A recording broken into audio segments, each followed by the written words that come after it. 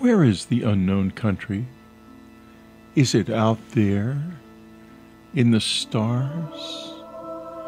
Or is it also somewhere else? Is it in us, in you? Unknown country, join us today. Go to unknowncountry.com right now and join us. Join the questions. Join the search. Join the adventure. UnknownCountry.com. There's no place like it in the world.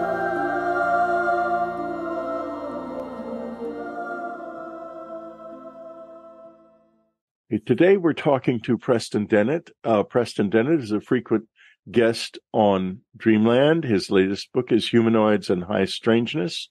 And he, we did a wonderful Dreamland with him last week. and it was very popular. And I would like to welcome everyone as well to this subscriber video chat. We're going to have a lot of fun today because we always do with Preston Dennett, who is a remarkable researcher and willing to look with clear eyes at things that people, other people just dismissed out of hand. So welcome, especially to you, Preston. Welcome to subscriber video chat. Here's the Thanks first question. Much. When it comes to human appearing beings, is there a particular area or location where you have received more reports?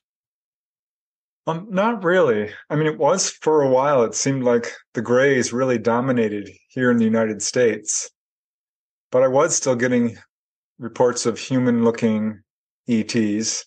They seem more popular in Europe mostly, but currently, I think it's kind of leveled out a little bit.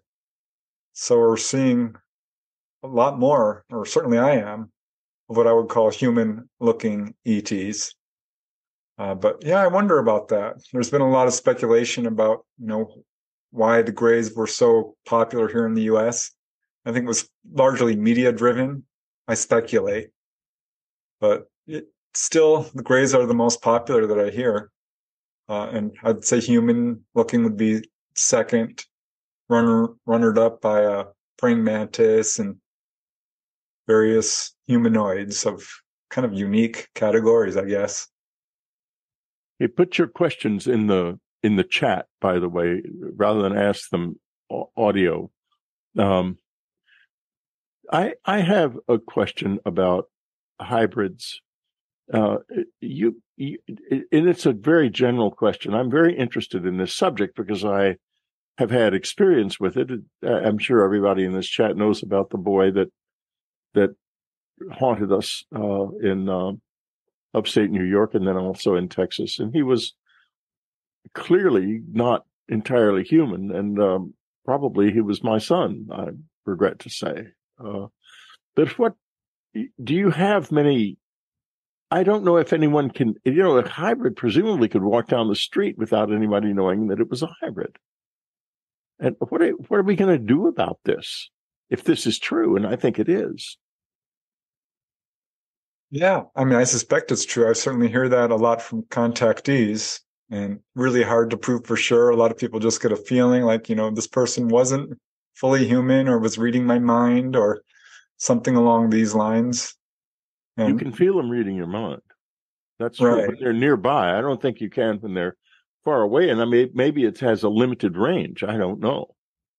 But you certainly can. We could feel him right in our minds, especially me. It was it was very disturbing. Yeah, I guess it's a lot more common than people realize. I mean, we still have questions about our own origins and who we are.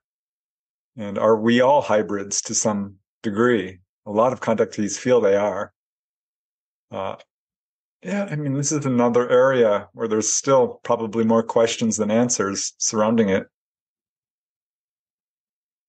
Okay, here's another question from the group have you run into any patterns in regard to the number of entities that appear in any given group? I've been getting indicators that Anne's rule of three might be more complicated than initially assumed.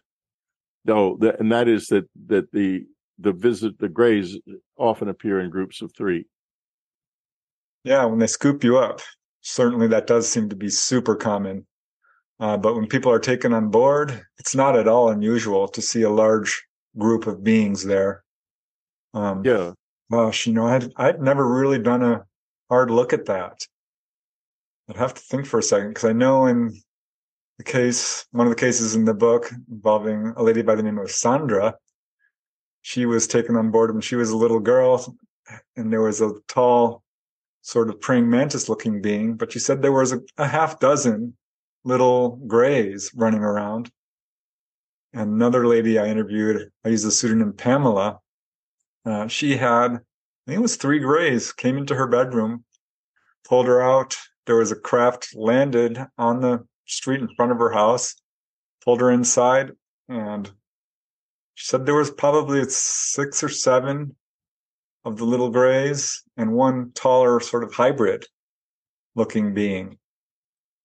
Uh, I would say more often, you know, I'm kind of guessing here because I again really haven't studied this. It's a good question. But I'm going to say most cases involve multiple beings. Um, yeah, that's a that's a good one. I really want to take a little bit of a deeper look in that. Um, yeah, I don't think I ever have any cases where people just see just one. Uh, trying to think of one. Yeah, I, you don't often see just one. There's that photo from Mexico of one of them coming up out of a basement, a pregnant woman. Uh, but that's really rare to see just one. That photo is quite real. I'm sure everyone has seen it. Um, and uh, if you haven't, I'll try to share it in a few minutes.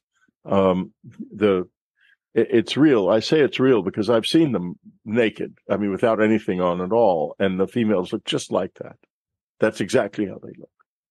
Wow. And, um, so I don't think it was made up because I don't think many people, they're usually wearing something and wearing a thin covering, a bodysuit.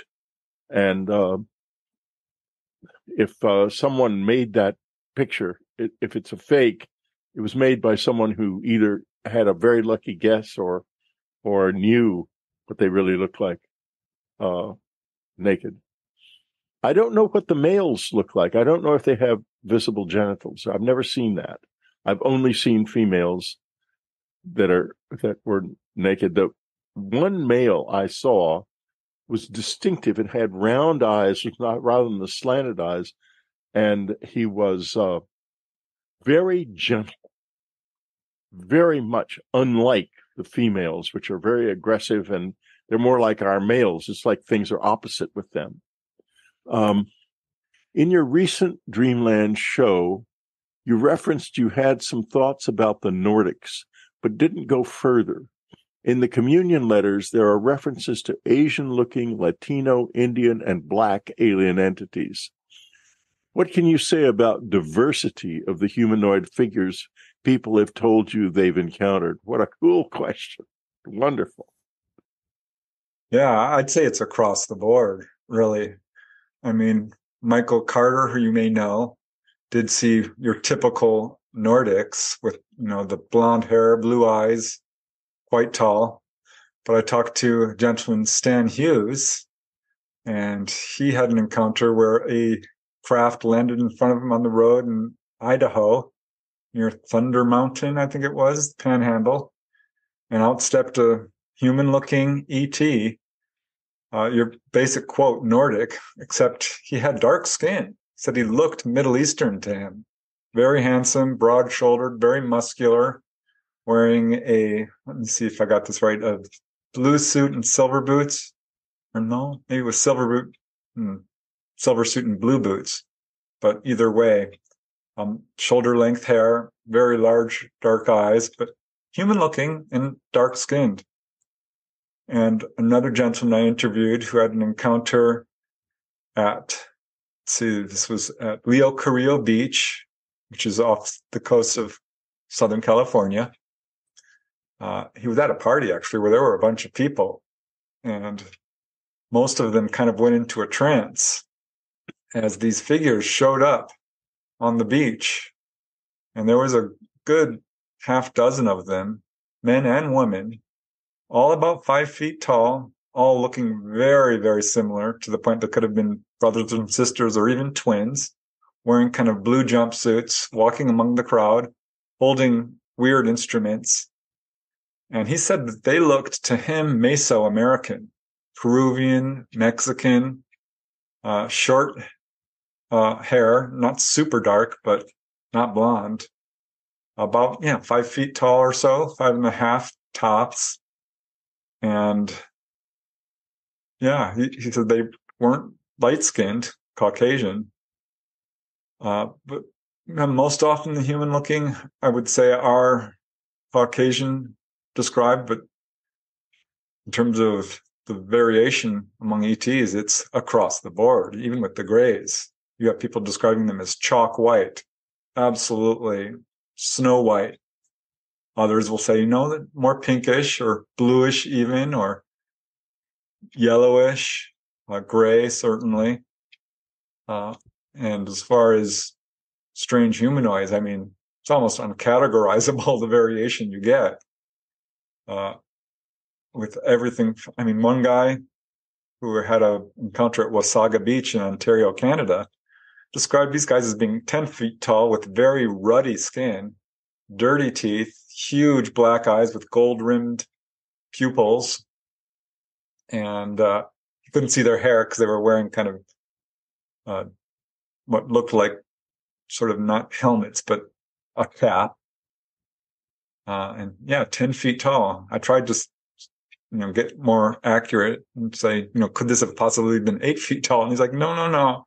I'm six, over six feet tall. And I was looking up at them, had to tilt his chin way up to look at them.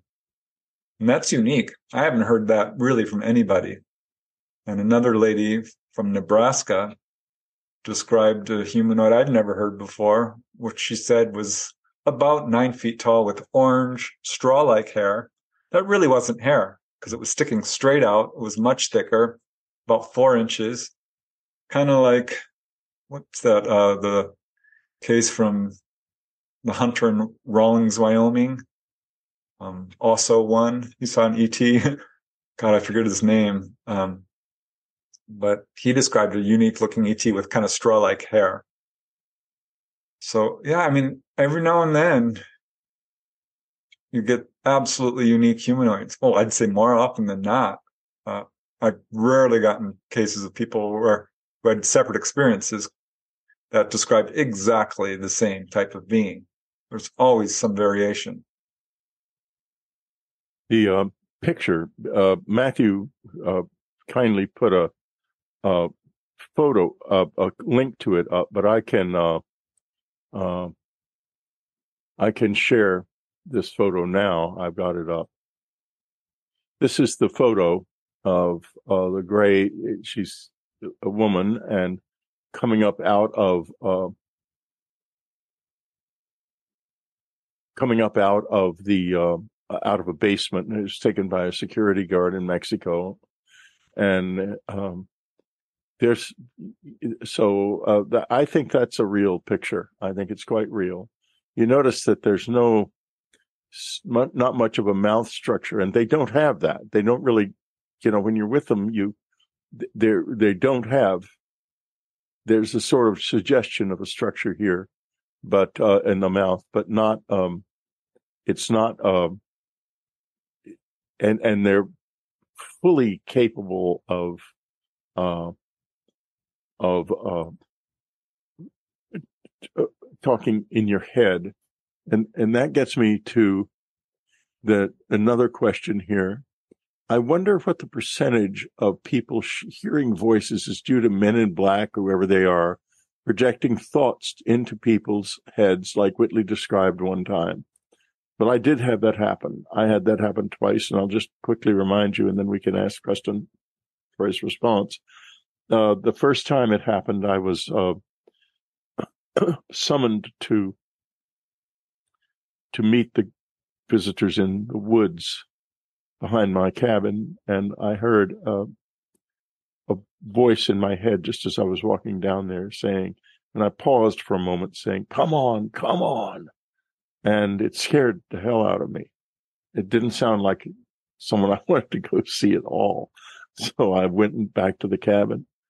Um, and the rest of that story is in numerous of my books. It was an extraordinary experience that happened then.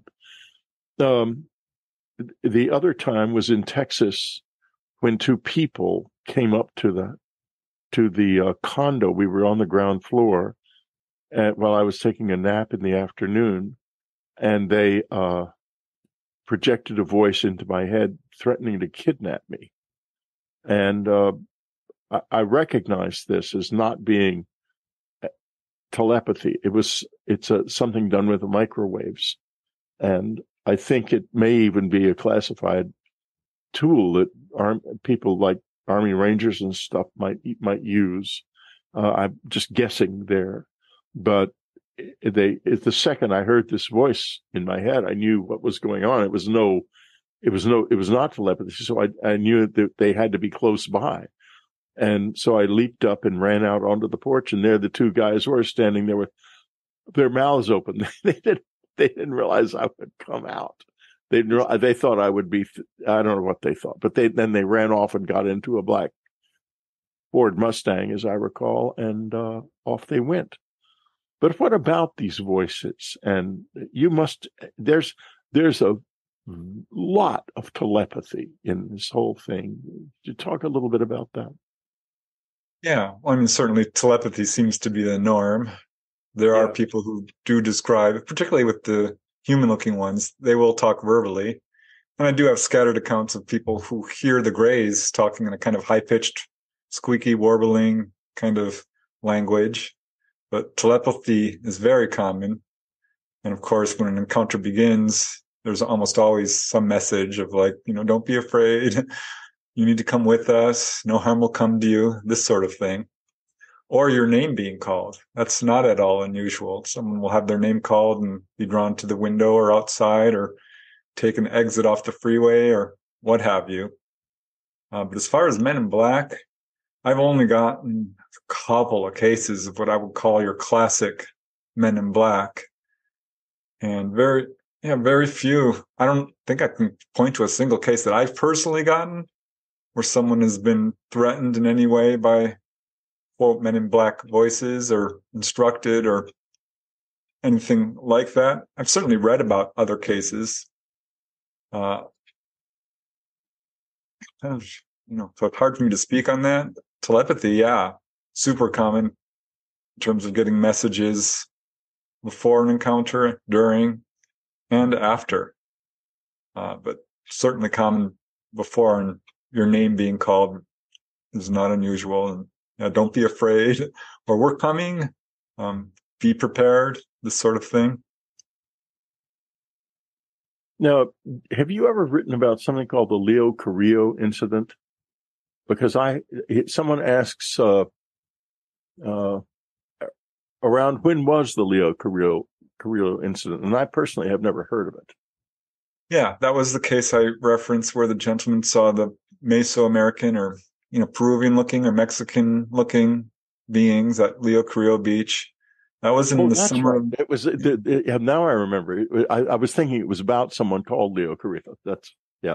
Okay, go ahead. Uh, I wrote that up in my book undersea ufo base because uh, it ended up you know it was a, a, encounter on the beach and it was a group of about 50 people or so who was at a party late at night sort of impromptu ce- celebration party and a group of them five or ten of them had lined up on the beach and were trying to identify this these lights out in the water and they couldn't mm, because they were arguing, you know, is that an oil rig? No, there's no oil rigs out there. Is this a cruise ship? It's because it had a bunch of lights. And they watched a light detach and speed up or speed to the, let's see, it would be the north, uh, sort of up the coast real fast. I'm thinking, well, that's a bit faster than, you know, those speedboats, a cigar boat. And that's when this enormous, shortly after that, this enormously bright light shone down from the cliff tops, which is where the Pacific Coast Highway is. And I can tell you the Pacific Coast Highway, mile for mile, I've got a case every darn mile from, I would say, the Channel Islands, Santa Barbara area, all the way down to Long Beach. I mean, this is a hugely active area. But these lights were so bright, it was like stadium lights. And everyone's looking up at them. And this is when they saw these Mesoamerican looking folks, about a half dozen of them coming down the stairs. And most of the people in the entire party froze. And he asked, you know, the main witness I interviewed asked a lot of people. He didn't know everyone there, but none of them remembered it. He finally found two who remembered seeing the lights in the water. I think one did remember seeing the figures. Uh, so there, there was missing time involved. That was in the summer of 1998. It's a pretty extensive encounter. He's had a lot of encounters throughout his life. He didn't want to talk about those, but he wanted to share this one because of my research into the USO activity in that area.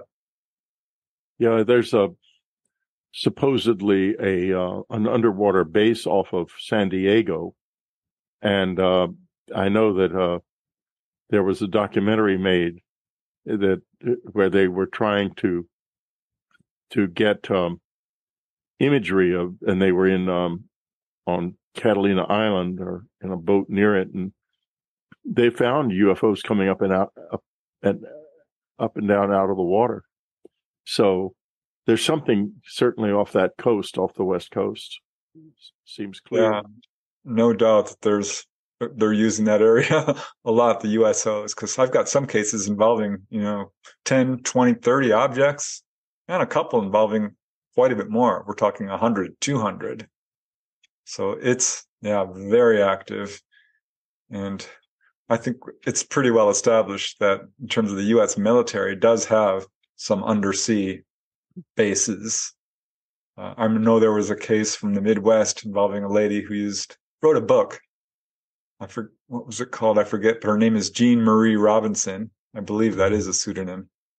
But she was con- um, confronted or visited by a gentleman from the military who said that yeah, he's part of. Um, he, he worked in an undersea base, and if he she wanted to, she, he would take her there. She declined. Uh, but it was an interesting reference to the fact that our own military folks probably do have undersea bases. Yeah, well, I they certainly have underground bases. I know somebody who works in one, but it doesn't have anything to do with this at all, as far as I know. I mean, it might, but uh, he's never indicated anything that anything like this is is involved. Um, about hybrids, what are their goals in reading people's minds? In your case, Whitley, what feelings did you have? Well, it, wasn't good uh, because the when this I'm not talking about the people who came up to the porch, but the boy would stand, come up to the house in the night at in in upstate New York and come to the condo in San Antonio, right up to the side beside the bedroom. And I would begin to have what I would describe as bizarre sexual fantasies.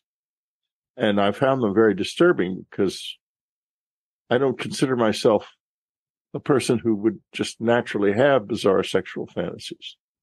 Um, my wife used to say, you have the sexual, you're about as sexually uh, exotic as someone like Disraeli or Gladstone, referring to these ultra conservative 19th century British uh, prime ministers.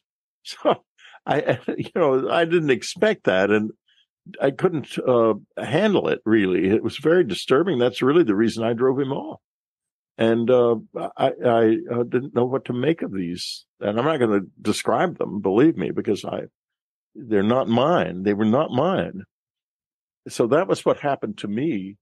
Uh, have you heard anything about telepathic inter- interaction with hybrids specifically? Because the telepathic interaction with the Greys is totally different. I had it last this morning at three o'clock, and it was a very complex thing about the book I'm starting to work on.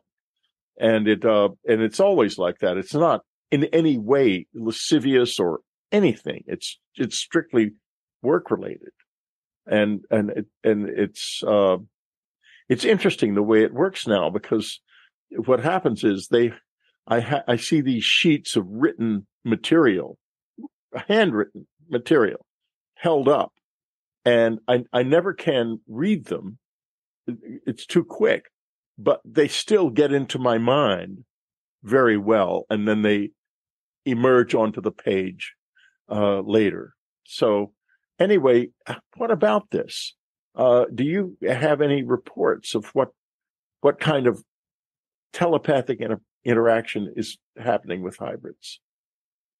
Not really.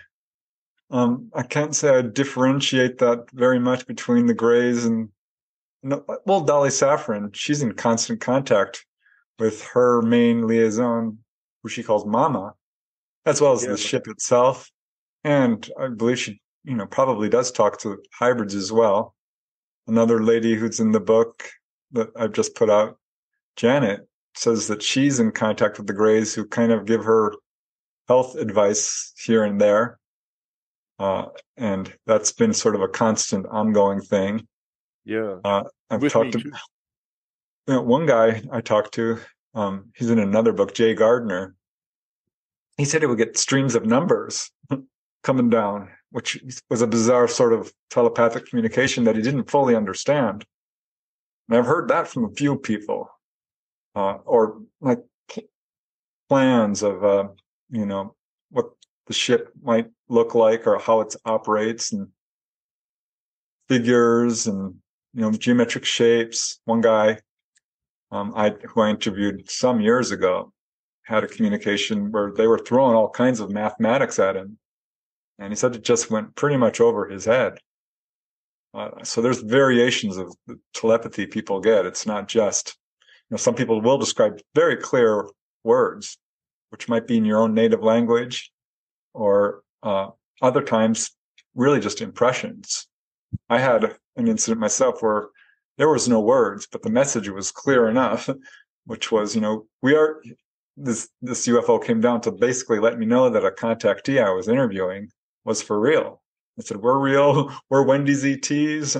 Now, if you don't believe, watch this," and start darting around. And that oh, wasn't wow. in words; it was just pure knowing.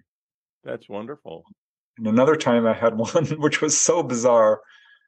Uh, they, they give you personal messages sometimes. And I hear this with contactees, but it's happened to me. Once I was driving up the San Diego freeway from San Diego to LA after having visited a friend late at night on a crowded freeway, mind you, and saw a globe of light right over the freeway. I'm thinking, well, what the heck is that? I drive this route, you know, enough times to pretty much know that there's nothing like this and there was a very low cloud ceiling, so you could tell it was quite low. And it's a crowded freeway. You're booking along at 70 miles an hour. So I couldn't really stop. And I remember peering up at it through the windshield and thinking, well, you know, that is unusual. There's it's not attached to anything. This is not a building. It's not a helicopter. It's just this globe of orange white light. And that's when I got the message that my niece had been born. She's like, your niece has been born. whoa, which turned out, of course, to be true. July 9th. Uh, I'll never oh. forget it. Uh, it makes you think, what are, is their real relationship to us? Because that's not something that someone from another planet would decide to tell you.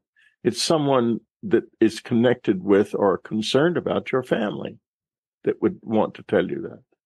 And again yeah, was... and again in the close encounter experience, in the letters we got, I mean, you see that family is involved. And in some of the books, the letters in them, the last letter that I analyze in them in particular, the uh, lady who's involved is told that they're, she's a member of their family.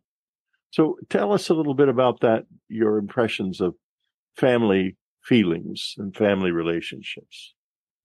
Yeah, I mean, I certainly agree. And I can tell you that a good majority of contactees do feel that way that these are more than just friends or people that are contacting them they they consider them family uh, that's not at all uncommon uh, in my own case you know i kind of came into this as a skeptic absolutely ignorant that this was something that was going on in my own family uh, but both well i've let's see three older brothers two of them ended up marrying contactees and you know in terms of the niece who was born uh, the nephew. There's two kids. He ended up having a very close up sighting as a young boy and a humanoid coming into his room. So it's clearly tracking our family or my family lines. Uh, so there's something to that. I don't know exactly what's going on, but I do think that this speaks to the fact that our relationship to them is probably a lot closer than we think. And yeah, I mean, I'm not sure how else to put that. Uh, but it does, there are a lot of cases where people are given very personal messages. Yes.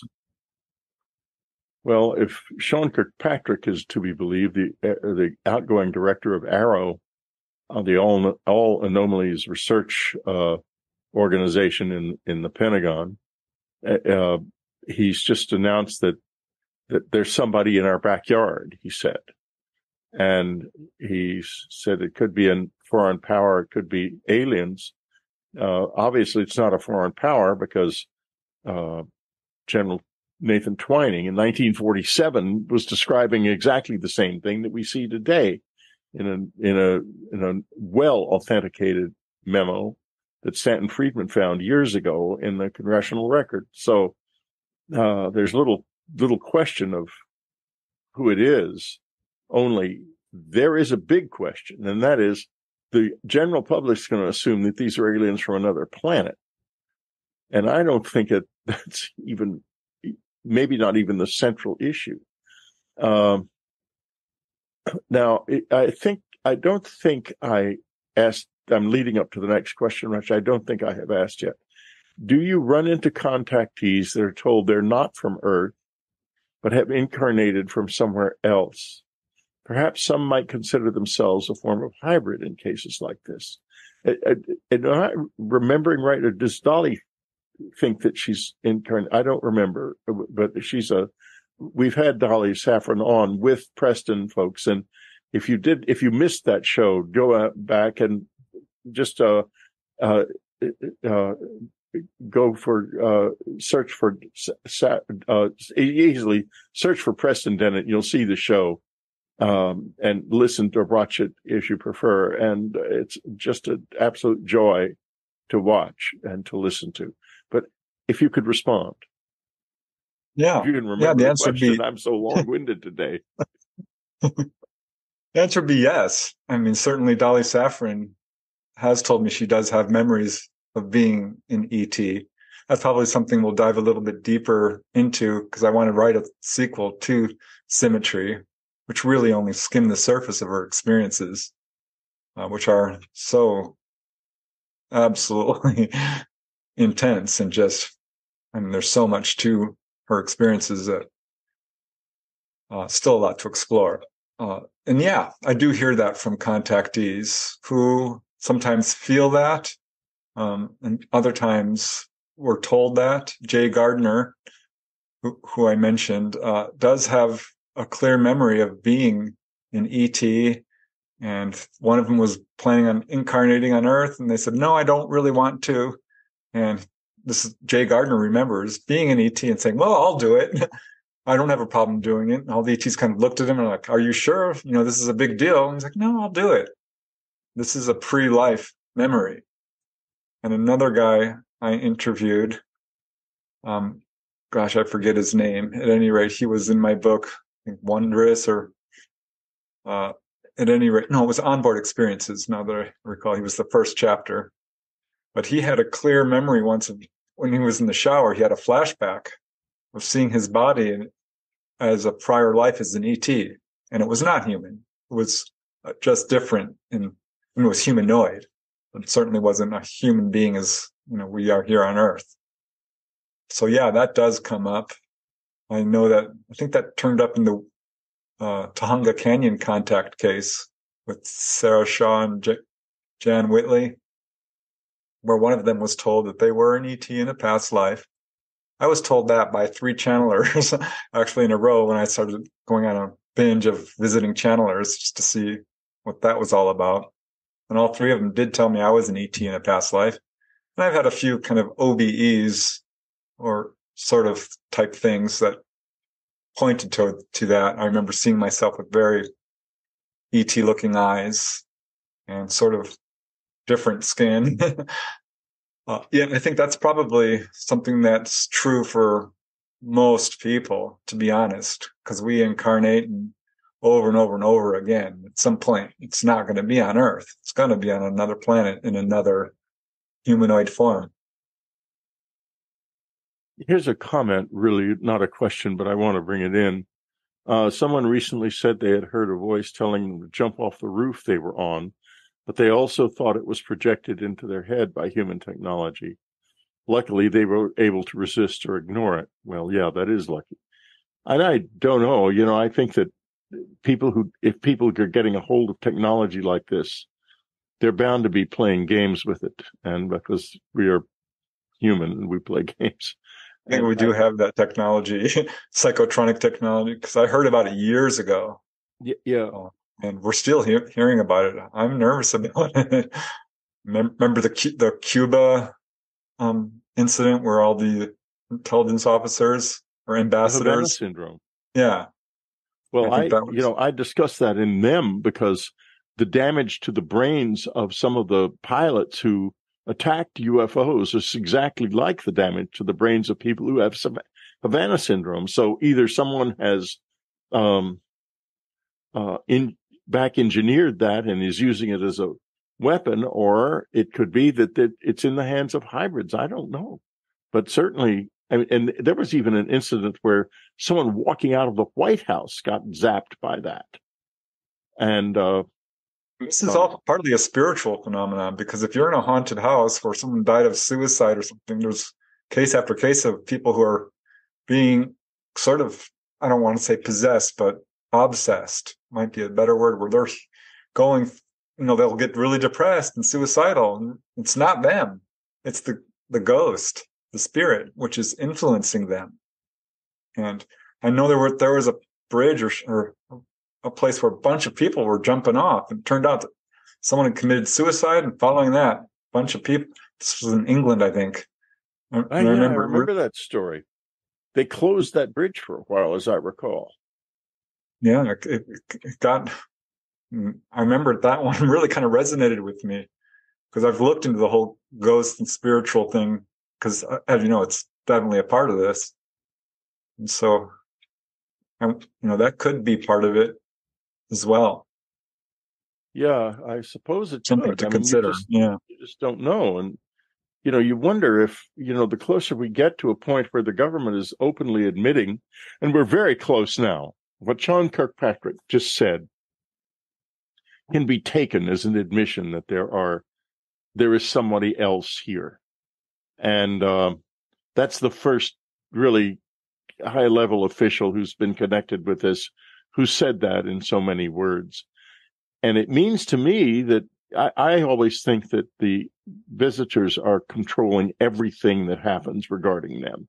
They're not, in other words, if, if we're dis- if our government is disclosing stuff, it's because they are doing this.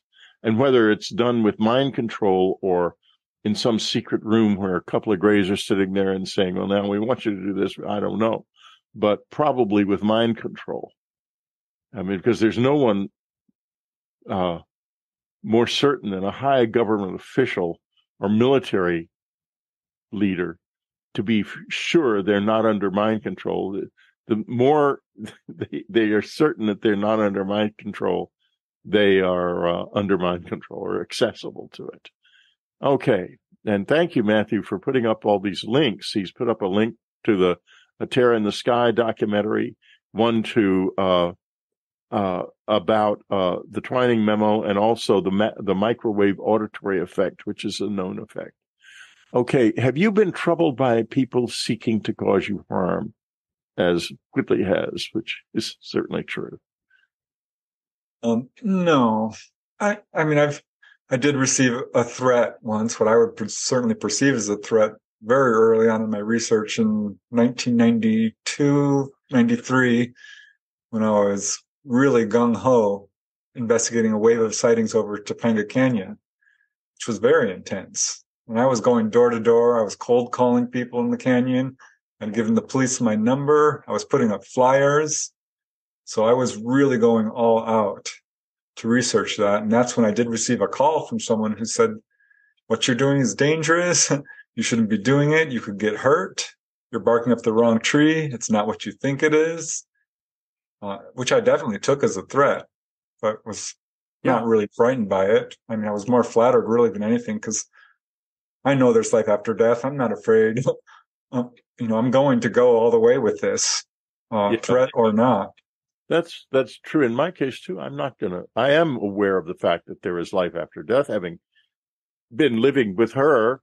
Uh, in you know, the only change in our relationship is that she she ran out of body, but that doesn't matter because we we're both using this one. I hurt my thumb, by the way. That's what that all that, that that's about. In case anyone wonders, um, and uh, so uh, yeah, I agree. I think uh, I, I I think that that uh, that uh, I'm going to go all the way too. But You're there are people who have had serious. There even people close in, inside the government who have gotten too close to the edge of telling this story, and I think they've been killed. I think uh, David Grusch uh, alluded to that in his interview uh, with Congress. That, yeah. And uh, one of uh, Mac Brazel's sons, who joined the Navy, and I believe he he um, talked about it with his buddies in the Navy.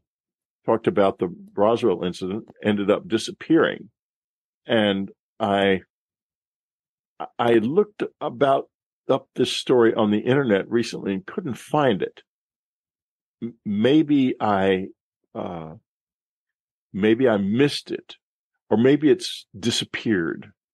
But uh, I remember that happened. I, I, was told that by one of the old Roswell witnesses back in the late '80s, who was still alive. Um, Matthew kindly put up UFOs over Topanga Canyon, which I believe is the first interview we did.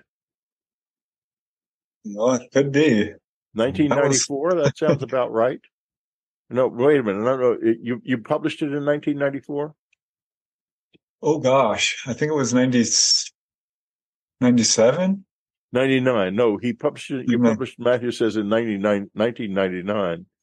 So that would be when Dreamland was just starting and still on the radio, uh, which it started in 1998. I started in 1998. So uh, I'm sure it was one of my first interviews be. Yeah, my first book was about healings. And I know I've talked to you about that. Uh, so maybe that was it. I don't, that's too far back to remember, Whitley. yes, exactly. I don't remember either, but I just have a, I knew, I know the book. I've read the book, certainly. And, uh, I have a feeling I have interviewed you about it. And it was, as it was a good interview, as I recall. You, you've been doing this for a long time. You and me both. I've got more hair than you do on the front, but not on the back. but no one can see that. Um, but uh, what would be your absolute what what would be the perfect thing for you? What would you like most to to research and write about that you haven't yet? Have, have you ever considered that question? Oh gosh, I mean, I love the way this field kind of takes you down different pathways. It started out really just strictly ET encounters and all the variations of that. But very quickly, I'm like, well, I'm going to have to look into ghosts. Uh, and did very intensely for a while and avoided Bigfoot because I thought, you know, that might be real and I really don't want to open up that can of worms. Uh, but of course, had to when I started getting, uh, when I got a UFO Bigfoot case.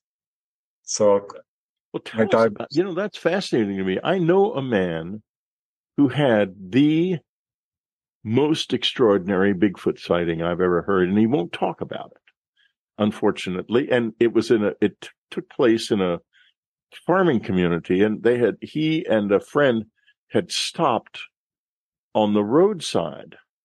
Uh, they'd gone to a place where they had heard it was between two big fields and it was a sort of canyon that they had heard that there was Bigfoot down in there. And, uh, they stopped for the purpose of going and looking. And I hope I'm getting a story right. and uh, the farmer, one of the farmers, was in the one of the fields, and he said to them as they were going down in, "You shouldn't go down in there. You might not come back." And the farmer, and he said, "Well, why?" And the farmer wouldn't tell him. He said, "Just don't go." But they went because they knew perfectly well what he was talking about, and they did encounter a Bigfoot who was so disturbing to them they immediately decided the farmer had been right and got the hell out of there. So, uh, but it was an embar- now. So, what are you? You haven't done a Bigfoot book, I don't think. No, I have. Yeah, you have. What What's it called? I I don't know if I interviewed you about it. Um, Bigfoot, Yeti, and other ape men. And I did a chapter on supernatural California and the history of California Bigfoot, which is the leading producer of Bigfoot reports in the U.S. So I've done my Bigfoot research for sure. yeah, and it's connected somehow to this. There's a, uh, to the UFO thing. Peripherally, so fascinating. Yeah, I mean there are about a hundred cases that I know of, which is significant, but not really given the huge amount of cases. You know, we've been we're close to what a million documented UFO encounters, and to pull out a hundred cases which have Bigfoot and UFO intersecting perfectly is definitely interesting, but statistically, it's almost insignificant because most people who have a UFO encounter aren't going to encounter Bigfoot and vice yeah. versa. But there's these cases that intersect perfectly and it's very strange. And I've wrestled with it for years and I've finally come to a new assessment, which some people might find amusing, but I don't know how else to, I don't think Bigfoot is an ET, which is what a lot of people go to. But if you look at the history of Bigfoot, it stretches back many hundreds of years. The oral traditions with Native Americans and indigenous people across the globe. But the case I got occurred in Canyon country outside of LA on the border of the national LA National Forest, which is huge. You know, it's five plus 500 plus million acres, I think, or something. Hmm, don't quote me on that, but it's a lot. And yeah, uh, I know it is huge. A large wilderness area. And he had a UFO land in his backyard where there's nothing there. And it was the next day he had a Bigfoot encounter in the same exact spot. And he told me this, this was my first Bigfoot case. Said it was reading my mind. And he was reading its mind. Um, it, he could tell that it was very upset with his dogs who were barking furiously. And that kind of pulled me over. I had not heard of that. Of course, that is a thing. Bigfoot, Sasquatch are apparently telepathic. Uh, that's not at all uncommon. And that started really getting me thinking when I started getting other cases of people reporting this. And I think what we're looking at is Bigfoot contactees, um, basically, who are being, you know, because this has come up in a number of cases where the ETs and Bigfoot are together. Uh, and how do you explain that? I mean, there's a bunch of cases in Pennsylvania. It's all over the world, really. Um, I ended up writing about that in one of my Not From Here volumes because there are enough cases where you have to take a deeper look at it. Can't just ignore it and throw away the evidence and say this isn't happening. It is. And as near as I can tell, yeah, ETs are contacting Bigfoot much in the manner they would people. Uh, so that's my current assessment that some some Bigfoot are contactees. That yeah, that that's absolutely fascinating, uh, because you have to think that maybe they're you know they disappear and uh, re- disappear and appear so readily. Uh, I, I, have always thought that they might be from another dimension, uh, and you know, having lived with this uh, fourth dimensional. Oh, uh, incidentally, my brother. I'm going to I'm to just preface this, is a great prank, prankster, and he's played many pranks on me. And this is his latest. Uh, it's not real, of course. I'm going to put it up on the share screen. Uh, it's not real. It's just a cover, but it's his dream to write a book like this. so enjoy it. um, he'd he'd love to do this, but uh, he's scared of me, and and with good reason. In any case, um, in any case, the uh, there is another universe right here. I mean, I've, I've been in it, and so maybe Bigfoot comes from there. Yeah, well, I think they're. I mean, they're clearly in our dimension at times. I mean, they're leaving footprints and hair samples and so forth, and being viewed by multiple people at once. Yes, but you know, people talk about, you know, are they interdimensional? Well, yeah, but who isn't? You can talk. There are people on Earth who are very spiritually advanced, who are doing things that the same sort of thing, have learned how to turn invisible or levitate or teleport. Right. Um, all these kinds of things are something we as human beings can do. And ETs absolutely have mastered it. Um, their in, interdimensional psychic abilities. Oh yeah, so they, I think we're all interdimensional, uh, and this is causing a lot of researchers to really start trying to, you know, wonder could these not even be ETs at all? I'm like, well, you know, I'm a big believer that a good portion of what people are reporting are your classic ETs, people like us from other planets, but do have interdimensional aspects that we're only beginning to study and understand uh, I guess you know the truth will come out about this as research continues. Yeah, but we would, we are interdimensional so. ourselves. I mean, I wrote a book on levitation because of this. This is another avenue that I really d- dove deep into. Um, I want to explore more about near-death experiences. I've never really done that to the depth I'd like to. But levitation, yeah, and out-of-body experiences, that was another avenue I got I'm really glad I looked into that one. Boy, oh boy, that explained a lot. Fascinating to me. I really am interested in it. I think I could levitate as a child, but I don't have any direct. I have one or two memories that suggest that. Uh, but uh, I think everybody would agree with me that it would be awfully fun if we could levitate readily. Now, there's incident. Someone put up the Stephen Colbert Bigfoot video, but I didn't know it was clipped on YouTube, but it is well worth watching. so enjoy it. Okay, we have come to the end of our time with Preston Dennett. Um, and Preston, I want to thank you so much for being with us again and tell Dolly hello. And when you get back to another Dolly book, we'll certainly have Dolly back on. Uh, Preston and Dolly and I had a lovely lunch together a few months ago and here in Santa Monica. And um, so everyone's saying, thank you, Preston. Hello, Dolly. And we'll see you again soon, as soon as you get something else going. Or maybe we ought to do a show on levitation. I don't think I ever interviewed you about that. Oh, gosh. I don't think so, but I've certainly got a lot to say. Okay, well, we will. In the spring, we'll do a Preston Dennett show on levitation. So maybe by then I will have figured out how to do it myself. I have tried. I have, have to admit it. If anyone else succeeds, please let me know. But you have to send a video, not a CGI either. Thank you so much, Preston Dennett. Always a pleasure. Thank you, Whitley.